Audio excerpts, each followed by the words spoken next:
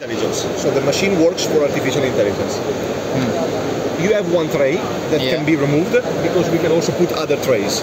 Let's try to work with loose stones. Do you have to place in any order or No, no, you can put them as you wish, no matter if they are on the table or on the side, if they are small, if they are large, or any Here shape. also?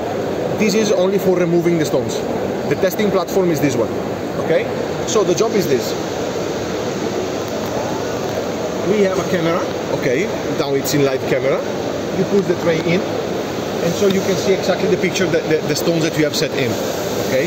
You can adjust the focus, moving the camera up and down in order to better set the focus. Once you are ready, you just have to press start. Once you press start, the machine will do this. Start taking the pictures, and as soon as the machine identify the stones on the platform, machine knows that fluorescence, l- shortwave, transition, and phosphorescence, they reconnected to this specific position. Okay? The machine artificial intelligence will start processing all the information and return the result. Raghu? So 18 stones Raghu. have been found. Raghu. Natural 4, CVD 4. Let me stop you. Please. These are natural. No, these are HPHTs. These are SPSTs. Yeah. Okay. You can read here. You can read here. The natural is the orange one. Orange. one. Okay. The purple, it's the CVD. The green, it's the HPHT. This one is a simulant, which is uh, moissanite, glass, plastic, topaz, quartz, uh, sapphire, spinel, uh, there are many. And then there are cubic zirconia. If you want to better look, you can you can also see here.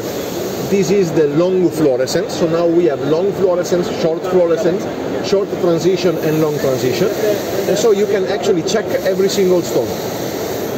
So here I see I have no fluorescence to long wave, blue fluorescence to short wave, yellow transition, no phosphorescence. Or I can go to this one.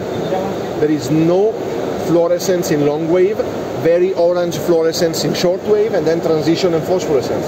Or I can go to HPHT. No fluorescence because HPHT have no fluorescence long wave and short wave, but you can have very strong transition and phosphorescence. And all these results are reported by icons if you, you can if you want you can zoom the picture and you can see better if you want you can remove the markers so you can see all the results of each stone if you want you can enlarge the picture so you can get a better view of the stone itself So, uh, this is uh, needs computer. This is computer. no this is only a screen So the computer is inside inside. yeah you don't need to buy the screen you can buy it at your place Okay. and then what is very fancy is that at the end of the result the machine actually put the results underneath each, each stone so now if I wanted to take out only the natural Okay. I see only the natural, and so I can pick the naturals. If I want, I can show only the CVD.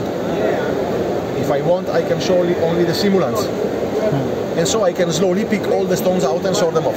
Oh, there. It has the. Correct. If I want, I can remove. Are you guys together? No. Okay. If I want, I can remove this one, and I can use this one for the loose jewelry.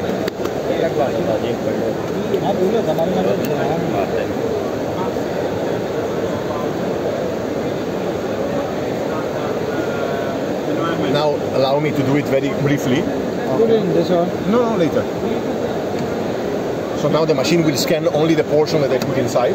Again, I have to go to live. I have to adjust the focus so to see this clearly. I, Amit, Sorry. I have a specific function which is called mounted stones. So I turn on the function and I start the job again.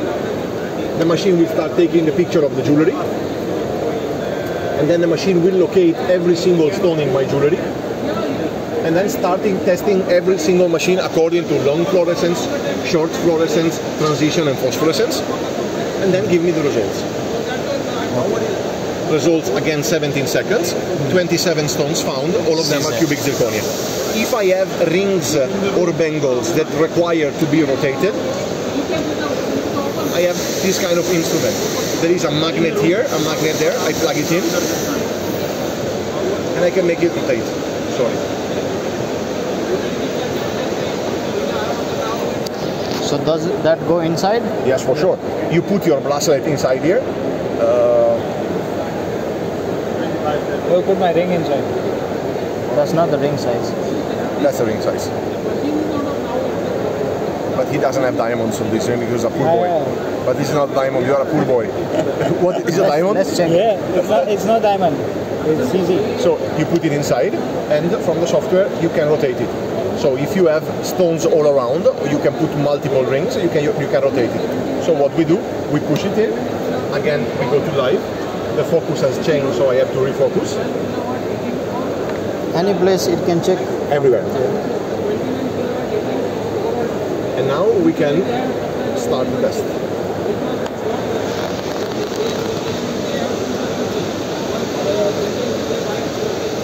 The stone and then start testing fluorescence, fluorescence, transition and phosphorescence.